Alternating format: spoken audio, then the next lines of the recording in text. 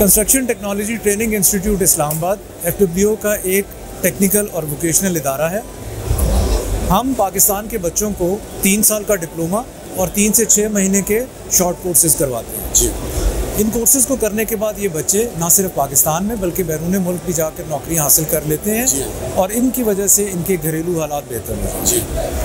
ये F W का एक इदारा है और इसके अंदर क्योंकि हुकूमत का इदारा है इसलिए हर सूबे के अपना कोटा है मेरिट के ऊपर सिलेक्शन की जाती है और इस ट्रेनिंग के बाद इन बच्चों को मुख्तलिफ़ जगहों पे हम इनको भेज सकते हैं। अभी कौन कौन सी आप उसमें टीचिंग दे रहे हैं तालीम दे रहे हैं बच्चों को? इस वक्त हम यहाँ पे छः फैकल्टीज़ के अंदर या सब्जेक्ट्स के अंदर इनको डिप्लोमा कराते हैं जिसमें mechanical engineering civil engineering quantity surveyor auto and diesel ICT या कंप्यूटर साइंसेज और इसके अलावा हॉस्पिटलिटी एंड टूरिज़्म मैनेजमेंट इन छः प्रोग्राम्स के अंदर इनको डिप्लोमा कराते हैं ये इसके प्रोजेक्ट्स कहाँ कहाँ हैं? पूरे पाकिस्तान में जो चल हमारे दो इदारे हैं एक इस्लामाबाद के अंदर है और एक रिसालपुर के अंदर है। इसको C T T I construction technology training institute कहते हैं और ये एफ़ डब्ल्यू का है। कर्नल साहब आप कोई मैसेज देना चाहेंगे न्यू स्टूडेंट्स जो आपकी तरफ़ आना चाहते हो और वो आपको डाइवर्ट करना चाहते हो इस तरफ़ तो आप उनको क्या मैसेज देंगे प्लीज़ जिस तरह के इंजीनियरिंग की तालीम एक बहुत ज़रूरी तालीम है डॉक्टर बनना बहुत अच्छी बात है। इसी तरह से हमें इन दोनों शोबों के अंदर इंजीनियरिंग में भी और मेडिकल में भी टेक्नीशियंस की ज़रूरत होती है। तो मैं ये ज़रूर कहूँगा कि जो बच्चे